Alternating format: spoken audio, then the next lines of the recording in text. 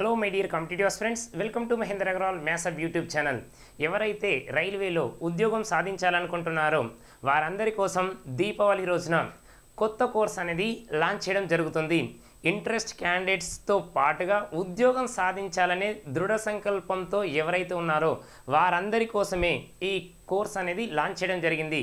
అతి తక్కువ ఫీజుతోటి ఫైవ్ మంత్స్ తోటి ఫైవ్ హండ్రెడ్ రూపీస్తో ఈ కోర్స్ అనేది లాంచ్ చేయడం జరిగింది. మరి ఫైవ్ హండ్రెడ్ రూపీస్ అన్నారు కాబట్టి మరి ఏమేమి ఉంటాయంటే అరిథమెటిక్ ఉంటుంది రీజనింగ్ ఉంటుంది మెన్సరేషన్కి సంబంధించిన క్వశ్చన్స్ అనేవి. ఓకేనా? బేసిక్ నుంచి అడ్వాన్స్ లెవెల్కు క్వశ్చన్స్ ఉంటాయి. మీకు ఏదైతే రైల్వేలో మీకు సిలబస్ ఇవ్వడం జరిగిందో ఆ సిలబస్ ప్రకారమే అన్ని చాప్టర్లు కూడా ఇందులో కవర్ చేయడం జరుగుతుంది. మీరు ఒకసారి ఇండెక్స్ ముందు పెట్టుకోండి. అది అరిథమెటిక్ కావచ్చు రీజనింగ్ కావచ్చు. ముందు పెట్టుకున్న తర్వాత ఇక్కడ సేమ్ చూ చెక్ చేసినట్లయితే మీకు ఒక్క చాప్టర్ కూడా మిస్ అవ్వదు. తర్వాత దీనితో పాటుగా ప్రీవియస్ క్వశ్చన్స్ అనేవి యాడ్ చేయడం జరుగుతుంది. ప్రీవియస్ ఇయర్లో జరిగిన క్వశ్చన్స్ ఉంటాయి కదా? ఆ క్వశ్చన్ క్వశ్చన్కి సంబంధించిన క్వశ్చన్స్ కూడా మనకి ఇందులో ఎక్స్ప్లెయిన్ చేయడం జరుగుతుంది. ఆల్రెడీ ఇంతకుముందే మనం మెన్షన్ చేసినాం. ఏమేమి ఇస్తామంటే అరిథమెటిక్ రీజనింగ్ తర్వాత మెన్సురేషన్కి సంబంధించిన కోర్స్ అనేది. ఓకేనా? ఫోర్ నైంటీ నైన్ రూపీస్కు ఎన్ని మంత్స్ అంటే ఫైవ్ మంత్స్ డ్యూరేషన్ తోటి దీపావళి రోజున మనం లాంచ్ చేయడం జరుగుతుంది. కాబట్టి రైల్వేలో ఎవరైతే జాబ్ కొట్టాలనుకుంటున్నారో ఎస్పెషల్లీ నేను రైల్వే కోసమని మెన్షన్ చేస్తున్నా మళ్ళీ ఇంకా మరి దేనికోసం ఆలోచించకండి. రైల్వే రైల్వే అంటే కూడా చూడండి ఎన్టీపీసీ ఎన్టీపీసీకి సంబంధించింది. నెక్స్ట్ తర్వాత గ్రూప్ డికి సంబంధించింది. నెక్స్ట్ తర్వాత ఏఎల్పి నెక్స్ట్ తర్వాత టెక్నీషియన్ నెక్స్ట్ తర్వాత జేఈకి సంబంధించినవి మనకు ఇక్కడ యూజ్ అవుతుంది. కాబట్టి ఇంట్రెస్ట్ క్యాండిడేట్స్ ఎవరైతే ఉన్నారో మహేందర్ అగర్వాల్ యాప్ను ప్లే స్టోర్ నుంచి డౌన్లోడ్ చేసుకొని తర్వాత కోర్సును పర్చేజ్ చేయండి. ఓకేనా? ఇంకా మీకు ఏమైనా డౌట్స్ ఉన్నట్లయితే nine triple six three zero nine zero nine ఎయిట్కు call చేసి మీ డౌట్స్ను క్లారిఫికేషన్ చేసుకోండి. ఓకేనా? కాబట్టి దీపావళి రోజున ఈ కోర్స్ అనేది లాంచ్ చేయడం జరుగుతుంది. ఆ దీపావళి రోజు మాత్రమే ఆఫర్ అనేది ఇవ్వడం జరుగుతుంది. ఎందుకంటే ఫోర్ నైంటీ నైన్ రూపీస్ అనేది ఫైవ్ మంత్స్ అనేది చాలా అంటే చాలా తక్కువ.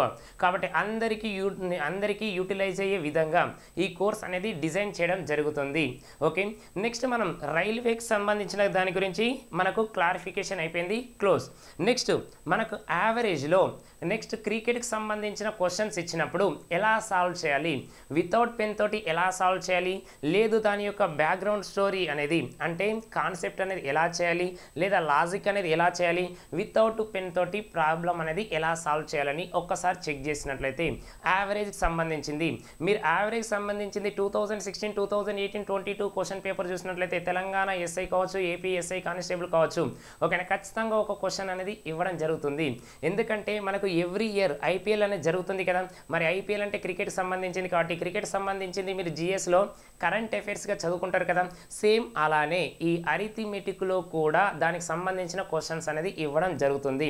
కాబట్టి ఓకేనా ఈ క్రికెట్కి సంబంధించింది బ్యాటింగ్ కావచ్చు బౌలింగ్ కావచ్చు లేదా రన్స్ సంబంధించింది ఏమి ఇచ్చినా కూడా మనం ప్రాబ్లం అనేది ఫ్రాక్షన్ ఆఫ్ సెకండ్స్లో చాల్ సాల్వ్ చేయాలి. ముందుగా మనకి ఇప్పుడు బ్యాటింగ్ గురించి అంటే బ్యాటింగ్లో రన్స్ అనేది ఏ విధంగా చేయాలి? ఓకేనా మనకు యావరేజ్ ఎంత ఓల్డ్ యావరేజ్ రన్స్ ఎంత? న్యూ యావరేజ్ రన్స్ ఎంత? ఇలాంటి క్వశ్చన్స్ ఇచ్చినప్పుడు ఎలా సాల్వ్ చేయాలి? ఫస్ట్ బేసిక్ చూడండి. బేసిక్ చూసినాక సర్కిల్ మెథడ్ అనేది ఎలా యూజ్ చేయాలి? వితౌట్ పెన్ అనేది ఎలా సాల్వ్ చేయాలి? ఒక్కసారి క్వశ్చన్ చూస్తే A batsman makes a century, a score 100 runs in the 17th innings and thus increase his average by 3 runs. What are his old and new average అన్నాడు. Cricket క్రీడాకారుడు తన యొక్క పదిహేడవ ఇన్నింగ్స్లో వంద పరుగులు చేయడం వలన అతని సగటు మూడు పరుగులు పెరిగినది. అయితే పాత సరాసరి కొత్త సరాసరి ఎంత అని క్వశ్చన్ అడిగిండు. సెవెంటీన్త్ ఇన్నింగ్స్లో హండ్రెడ్ రన్స్ వేసిండంటే దానికంటే ముందు ఎన్ని మ్యాచ్లు ఆడి ఉంటాడు సిక్స్టీన్ మ్యాచెస్ ఆడి ఉంటాడు. మరి సిక్స్టీన్ మ్యాచ్లో ఎన్ని రన్స్ వేస్తుంటాడు తెలియదు. కాబట్టి ఏ విధంగా సాల్వ్ చేయాలి? మరి సెవెంటీన్త్ ఇన్నింగ్స్లో ఎన్ని రన్స్ వేశాడు హండ్రెడ్ అన్నాడు. అంటే టోటల్ ఓవరాల్గా ఎన్ని మ్యాచెస్ ఆడిండు? సెవెంటీన్త్ ఇన్నింగ్స్ కాబట్టి ఎలా సాల్వ్ చేస్తాం? మెథడ్ వన్ చూడండి. మెథడ్ వన్ అనేది ఎలా రాస్తాం? Average runs average runs average runs x అనుకున్నాం.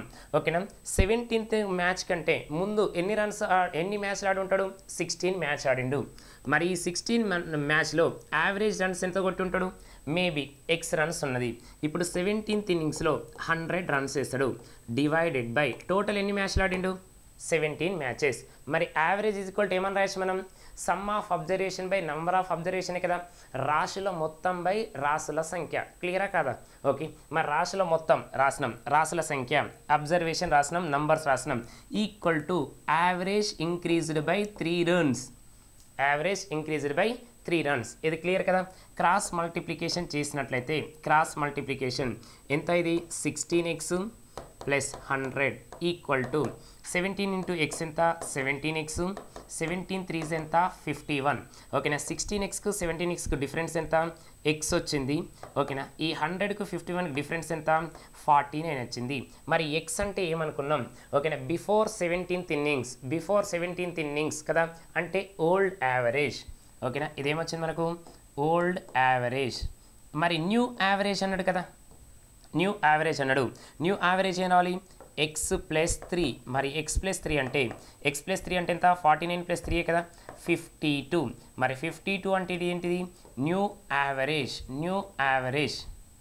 ఓకేనా? కాబట్టి forty nine fifty two. Option ఏమొచ్చింది? Option one is the correct one ఇది జనరల్గా మనం ఎక్స్ మోడల్లో చేస్తాం. జనరల్గా ఎక్స్ మోడల్లో చేస్తాం. లేదు నేను సర్కిల్ మెథడే యూజ్ చేయాలంటే ఎలా సాల్వ్ చేయాలి? బాగా అబ్జర్వ్ చేయండి. మెథడ్ టూ అనేది సాల్వ్ చేస్తున్నాం. మెథడ్ టూ అనేది. ఓకేనా? సిక్స్టీన్ మ్యాచ్లో ఎంత యావరేజ్ ఉందంటే తెలియదు. ఎక్స్ అనుకున్నాం. నెక్స్ట్ సెవెంటీన్త్ మ్యాచ్లో యావరేజ్ అనేది ఇంక్రీజ్డ్ బై త్రీ హండ్రెడ్ కాబట్టి ప్లస్ త్రీ రాసినాం. కాబట్టి ఇక్కడికి వెళ్ళి ఇక్కడికి ఎంత ఇంక్రీజ్ అయింది? ప్లస్ వన్ ఇక్కడికి ఎంత ఇంక్రీజ్ అయింది? ప్లస్ త్రీ అయింది. కాబట్టి one into x plus three three into sixteen. ఇది సర్కిల్ మెథడ్ అంటాం. అంటే ఒక వృత్తాకారంలో ఉంది కదా. కాబట్టి సర్కిల్ మెథడ్. మనం ఏజెస్లో యూజ్ చేస్తాం. నెక్స్ట్ యావరేజ్లో యూజ్ చేస్తాం. నెక్స్ట్ తర్వాత అలిగేషన్ మిక్చర్లో కొన్ని ప్రాబ్లమ్స్ దగ్గర కూడా యూజ్ చేస్తాం. ఈ సర్కిల్ మెథడ్ అనేది కొంచెం నేర్చుకోవడానికి ట్రై చేయండి. ఓకేనా? సిక్స్టీన్త్ మ్యాచ్లో యావరేజ్ ఎక్సే కదా? సెవెంటీన్త్ మ్యాచ్లో ఎక్స్ ప్లస్ త్రీ అన్నాడు కాబట్టి increased by plus one increased by plus three. కాబట్టి one into x plus three ఎంత? ఎక్స్ ప్లస్ త్రీ వచ్చింది. నెక్స్ట్ త్రీ ఇంటూ సిక్స్టీన్ ఎంత? Forty eight. టోటల్ ఎన్ని రన్స్ వేసిండు? హండ్రెడ్ రన్స్ కాబట్టి x plus fifty one fifty one equal to hundred వచ్చింది. Next X is equal ఈ fifty one right side వెళ్తే మైనసే కదా? హండ్రెడ్ మైనస్ ఫిఫ్టీ వన్ ఎంత? ఫార్టీ నైన్ ఈ ఫార్టీ నైన్ అనేది ఏంటిది? ఓల్డ్ యావరేజ్ మరి న్యూ యావరేజ్ కావాలి కదా? న్యూ యావరేజ్ అంటే ఎక్స్ ప్లస్ త్రీయే కదా? కాబట్టి ఎంత వచ్చింది? ఫిఫ్టీ టూ ఇది న్యూ యావరేజ్ ఇది జనరల్గా రాస్తాం. జనరల్గా రాస్తాం. ఇది క్లియర్ కదా? ఎక్స్ మోడల్ చేసినాం సర్కిల్ మెథడ్ చేసినాం. మరి వితౌట్ పెన్ అనేది ఎలా చేయాలి? వితౌట్ పెన్ అనేది ఎలా చేస్తాం? మెథడ్ త్రీ ఒక్కసారి అబ్జర్వ్ చేస్తే మెథడ్ త్రీ అనేది టోటల్ ఎన్ని రన్స్ వేసిండు? సెవెంటీన్త్ మ్యాచ్లో హండ్రెడ్ రన్స్ వేసిండు కదా? మరి యావరేజ్ ఇంక్రీజ్ బై త్రీ అన్నాడు కదా? ఇక్కడ ఏం తెలియాలంటే ఇంక్రీజ్ అంటే మైనస్ చేయాలి డిక్రీజ్ అంటే ప్లస్ చేయాలి. అంటే సగటు పెరిగిందంటే మైనస్ చేయాలి సగటు తగ్గిందంటే ప్లస్ చేయాలి. ఇది బాగా గుర్తుపెట్టుకోండి. ఓకేనా? మరి average increase by three runs అన్నాడు కదా ఎన్ని మ్యాచ్లో? ఒక మ్యాచ్కి త్రీ అన్నాడు. ఎన్ని మ్యాచ్లు ఆడిండు? సెవెంటీన్ మరి సెవెంటీన్ త్రీజా ఫిఫ్టీ వన్ కదా?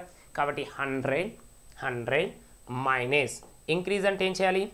మైనస్ చేయమని చెప్పినాం. కాబట్టి ఒక మ్యాచ్లో త్రీ రన్స్ అయితే మరి సెవెంటీన్త్ మ్యాచ్లో ఎన్ని చేయాలి? సెవెంటీన్ మ్యాచ్లో సెవెంటీన్ త్రీజా ఫిఫ్టీ వన్ కాబట్టి డైరెక్ట్ వచ్చింది ఫార్టీ నైన్. ఈ ఫార్టీ నైన్ అనేది ఏంటిది ఓల్డ్ యావరేజ్. మరి న్యూ యావరేజ్ ఎంత ఉండాలి ప్లస్ త్రీ. ప్లస్ త్రీ కాబట్టి ఎంత ఉండాలి fifty two. Fraction of seconds without pen తోటి సాల్వ్ చేసినాం. హండ్రెడ్ మైనస్ ఫిఫ్టీ వన్ ఎంత? Forty nine. Forty nine clear కదా? నెక్స్ట్ ఫార్టీ నైన్ అనేది ఏంటిది? Old average. New average plus three. Fifty two. Forty nine fifty two. Clear కదా? ఏమి ఇచ్చిండు క్వశ్చన్లో? యావరేజ్ ఇంక్రీజ్డ్ బై త్రీ అన్నాడు కదా? ఇది జనరల్గా చేస్తాం. ఇవన్నీ బేసిక్ క్వశ్చన్సే ఓకేనా? ఎందుకంటే నాన్ మ్యాథ్స్ విద్యార్థులకు ఫస్ట్ బేసిక్ క్వశ్చన్ చెప్పిన తర్వాత మాడరేట్ లెవెల్లో ఎలా అడుగుతాడు అడ్వాన్స్ లెవెల్లో ఎలా అడుగుతాడు అనేది నేర్పియాలి. కాబట్టి ఫస్ట్ బేసిక్ చెప్పిన నెక్స్ట్ వీడియోలో మీకు దీనికి సంబంధించిన మాడరేట్ లెవెల్ కావచ్చు లేదా అడ్వాన్స్ లెవెల్ క్వశ్చన్ కావచ్చు. అందులో ఎక్స్ప్లెయిన్ చేయడం అనేది జరుగుతుంది. ఇక్కడ వరకు క్లియర్ కదా? నెక్స్ట్ క్వశ్చన్ చూసినట్లయితే ఇది ఇంక్రీజ్ అన్నాడు కదా. నెక్స్ట్ క్వశ్చన్ డిక్రీజ్ అయినప్పుడు ఏ విధంగా సాల్వ్ చేయాలి? ఓకేనా క్వశ్చన్ చూడండి. A batsmen makes twenty five runs in his eleventh innings and thus decrease is average by two runs what are his old average and new average అన్నాడు. ఒక cricket ఆటగాడు పదకొండవ ఆటలో ఇరవై ఐదు పరుగులు చేయడం వల్ల సగటు పరుగులు లేదా సరాసరి ఎంత తగ్గింది? రెండు తగ్గింది. అయితే కొత్త సరాసరి పాత సరాసరి అని క్వశ్చన్ అడిగిండు. ఇంతకుముందేమో increased by three runs decreased by two runs ఇది క్లియర్ కదా? కాబట్టి ఇంక్రీజ్ అన్నప్పుడు ఏం చేయాలి? మైనస్ మైనస్ చేయాలి. డిక్రీజ్ అన్నప్పుడు ఏం చేయాలి? ప్లస్సే కదా? కాబట్టి డైరెక్ట్ ఎలా సాల్వ్ చేస్తాం? మెథడ్ వన్ చూసినట్లయితే మెథడ్ వన్. ఓకేనా? ఇంతకుముందు చేసినాం కదా? ఎన్ని మ్యాచ్లు ఆడిండు? లెవెన్త్ ఇన్నింగ్స్లో ట్వంటీ ఫైవ్ రన్స్ అంటే దానికంటే ముందు ఎన్ని మ్యాచ్లు ఆడిండు? టెన్ మ్యాచ్లు ఆడిండు. కాబట్టి ఇక టెన్ మ్యాచ్లో యావరేజ్ తెలియదు కాబట్టి ఎక్స్ లెవెన్త్ మ్యాచ్లో ట్వంటీ ఫైవ్ రన్స్ వేసిండు డివైడెడ్ బై టోటల్ ఎన్ని ఆడిండు? Eleven match. Average increased by average decreased by two. Average decreased by two కదా. కాబట్టి క్రాస్ మల్టిప్లికేషన్ చేస్తున్నాం. ఓకే చేసినట్లయితే ఎంత? Ten x plus twenty five equal to eleven into x ఎంత eleven X eleven twos ఎంత? Twenty two ఓకేనా ఇప్పుడు ఏం చేస్తున్నామంటే ట్వంటీ టూ తీసుకురండి. Twenty five plus twenty two next ఈ టెన్ అంటే తీసుకెళ్తే eleven x minus ten x కాబట్టి ఎంత వచ్చింది? ఫార్టీ సెవెన్ ఈ ఫార్టీ సెవెన్ అంటే ఏంటిది? Old average old average. అవునా కదా? న్యూ యావరేజ్ ఏమవుతుంది new average decreased by two రన్సే కదా? డిక్రీజ్డ్ బై టూ కాబట్టి మైనస్ టూ. ఎంత? Forty five. అంటే దీన్నే ఎక్స్ మైనస్ టూ అంటాం. X minus two. Okay x minus two అంటే ఎంత? ఫార్టీ సెవెన్ మైనస్ టూ అంటే ఫార్టీ ఫైవ్ వచ్చింది. ఇదేంటిది? New average. అంటే ఎంత? Forty seven forty five. Option ఏమొచ్చింది? Option two is the correct one. ఇదే కదా? మరి సర్కిల్ మెథడ్ అనేది ఎలా సాల్వ్ చేయాలి? మెథడ్ టూ చూసినట్లయితే మెథడ్ టూ. ఇది క్లియర్ కదా? టెన్ మ్యాచ్లో ఎన్ని ఉండాలి? టెన్ మ్యాచ్లో యావరేజ్ ఎక్స్ ఉంటుంది. లెవెన్త్ మ్యాచ్లో average decreased by two. Average decreased by two. ఓకేనా? టెన్కు లెవెన్కు డిఫరెన్స్ ఎంత? వన్. Increased by. ఇది decreased by minus two. One into x minus two. Two into ten. Clear కదా? కాబట్టి X minus two యాస్టీస్ minus two into ten minus twenty equal to ఎన్ని runs చేశాడు? Forty five కదా? X equal ఇది minus two minus twenty అంటే ఎంత? Minus twenty two right side వెళ్తే ప్లస్సే కదా? ట్వంటీ ఫైవ్ ప్లస్ టూ ఎంత ఫార్టీ రాస్తున్నా. Twenty five plus twenty two equal to ఎంత? ఫార్టీ సెవెన్ మరి ఫార్టీ సెవెన్ అనేది ఏంటిది?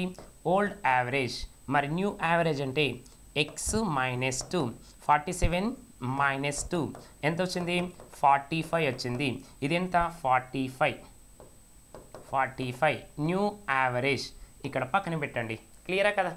ఫార్టీ సెవెన్ ఫార్టీ ఫైవ్ నేనేం చెప్పిన ఇంతకుముందు? ఇంక్రీజ్ అంటే మైనస్ డిక్రీజ్ అంటే ప్లసే కదా? డైరెక్ట్ చేయాలి. ఓకేనా? మెథడ్ త్రీ అనేది ఎలా సాల్వ్ చేస్తాం? ఓకే? ట్వంటీ ఫైవ్ రన్స్ చేసింది కదా? ట్వంటీ ఫైవ్ రన్స్ ఓకేనా? తర్వాత ఏమైంది? యావరేజ్ డిక్రీజ్డ్ బై టూ అన్నాడు. యావరేజ్ డిక్రీజ్ బై టూ అన్నాడు. ఏం కావాలి? యావరేజ్ డిక్రీజ్ బై టూ అనేది ఎవ్రీ మ్యాచ్ మరి ఎన్ని మ్యాచ్లు ఆడిండు? టెన్ మ్యాచ్ ఒక మ్యాచ్కి టూ అయితే టెన్ మ్యాచ్కి ఎంత? ట్వంటీ టూ మరి డిక్రీజ్ అన్నప్పుడు ఏం చేయాలి? ప్లస్ చేయాలి. కాబట్టి ఎంత? Twenty five plus twenty two ఓకేనా కాబట్టి ఎంత వచ్చింది? Forty seven okay forty seven అది ఏంటిది? ఓల్డ్ యావరేజ్ మరి న్యూ యావరేజ్ అంటే ఏం కావాలి? మైనస్ టూ చేయాలి కదా. మైనస్ టూ చేస్తే ఎంత? Forty five new average new average వచ్చింది. ట్వంటీ ఫైవ్ ఓకే కాబట్టి ఒక మ్యాచ్లో ఎంత అయింది టూ రన్స్. లెవెన్ టూసా లెవెన్ టూస్ ఎంత? ట్వంటీ టూ కదా? ట్వంటీ ఫైవ్కి టూ ట్వంటీ టూ కలిపితే? Forty seven. అదేంటిది? Old average. New average. Minus two. Forty seven minus two ఎంత? Forty five. కాబట్టి option one is the correct one. ఎందుకు చెప్తున్నా త్రీ మీటర్స్ అంటే మళ్ళీ చూడండి. నీకు మ్యాథ్స్ అనేది వస్తే నువ్వు ఎలా అయినా చేస్తావు. అవునా కదా? నువ్వు ఎలా అయినా చేస్తావు. ఇన్ కేస్ నీకు మ్యాథ్స్ రాకుంటే అదే ఒక మెథడు బట్టి మెథడ్. కాబట్టి మ్యాథ్స్ అంటేనే ఆలోచించాలి. ఎవరైతే ఆలోచించి ఓకేనా నంబర్ ఆఫ్ మెథడ్స్ కానీ నంబర్ ఆఫ్ క్వశ్చన్స్ కానీ ప్రాక్టీస్ చేస్తే నీకు ఈజీగా నంబర్ ఆఫ్ మెథడ్స్ అనేది ఈజీగా వస్తాయి. అంటే ఎలా చేయాలి? క్యాలిక్యులేషన్ పార్ట్ వస్తుంది. నంబర్ ఆఫ్ మోడల్స్ కూడా ఓకేనా నాకంటే ఎక్కువ ఫాస్ట్గా చేయొచ్చు మీరు. కాబట్టి ఎక్కువ ప్రాక్టీస్ చేయండి. చిన్న చిన్న క్వశ్చన్ నుంచే స్టార్ట్ చేయండి. నాన్ మ్యాథ్స్ విద్యార్థులారా ముఖ్యంగా మీకోసమే చెప్తున్నాం. ఎందుకంటే ప్రతిసారి ఒక డైలాగ్ చెప్తారు కదా నేను non maths student non maths student నువ్వు నాన్ మ్యాథ్స్ స్టూడెంట్ అసలే కాదు. ఎందుకంటే ఫస్ట్ నుంచి టెన్త్ క్లాస్ వరకు అందరు చదువుకున్నారు. అందరు చదువుకున్నారు. ఏంటిది? రేషియో ప్రపోర్షన్ నేర్చుకున్నారు. పార్ట్నర్షిప్ నేర్చుకున్నారు నెక్స్ట్ ఏజెస్ నేర్చుకున్నారు యావరేజ్ నేర్చుకున్నారు simple interest compound interest mixture alligation నేర్చుకున్నారు time and work time and dist distance తర్వాత simple interest compound interest time and work నేర్చుకున్నారు పైప్స్ అండ్ సిస్టమ్ నేర్చుకున్నారు బోట్స్ అండ్ స్ట్రీమ్ నేర్చుకున్నారు races కూడా నేర్చుకున్నారు. మరి ఇవన్నీ నేర్చుకున్నప్పుడు మీరు నాన్ మ్యాథ్స్ స్టూడెంట్ ఎలా అవుతారు? ఓకేనా? మీ మైండ్లో ఒకటే ఏమున్నది? నేను నాన్ మ్యాథ్స్ నాన్ మ్యాథ్స్ కాబట్టి నేను చేయలేము అని భయం వస్తుంది. ఎప్పుడైతే నీ భయం పక్కన పెడతావో అప్పుడే నువ్వు సక్సెస్ అవుతావు. ఫస్ట్ ప్రాక్టీస్ చేయి. ప్రాక్టీస్ చేస్తే ఫస్ట్ వన్ టైం రాదు. అంతే కదా? సెకండ్ టైం చేయి రాకపోవచ్చు. టెన్ టైమ్స్ అయిపోయేదేముంది నువ్వు నేర్చుకోవడానికి వచ్చినావు కదా ఖచ్చితంగా నేర్చుకోవాలి. ఇక తప్పదు. నువ్వు టెన్త్ క్లాస్ అయిపోయాక మ్యాథ్స్ భయపడే ఏం చేసినావు? బైపీసీ సీస్ తీసుకున్నావు. మరి ఇక్కడ తీసుకోవడానికి ఛాన్స్ వస్తుందా? లేదు కాబట్టి ఖచ్చితంగా చేయాల్సిందే. నీకు జాబ్ రావాలంటే అరిథమెటిక్ రీజనింగ్ ప్యూర్ మ్యాథ్స్ అనేది ఫిఫ్టీ పర్సెంట్ ఉంటుంది కదా. ఖచ్చితంగా చేయాల్సిందే. సేమ్ ఇవి అయిపోయినాయి కదా. ఇది అయిపోయిన తర్వాత మీకు ఒకటి హోంవర్క్ ఇస్తాం. హోంవర్క్ ఇచ్చినప్పుడు ఏ విధంగా ఆన్సర్ చేస్తారో ఒక్కసారి చెక్ చేయండి. ఇక్కడ ఆల్రెడీ మీకు క్వశ్చన్ అనేది డిస్ప్లేలో కనబడ కనిపి కనిపిస్తుంది. మీ యొక్క ఆన్సర్ను లేదా మీ యొక్క అమూల్యమైన ఆన్సర్ను కింద కామెంట్ రూపంలో తెలియచేయండి.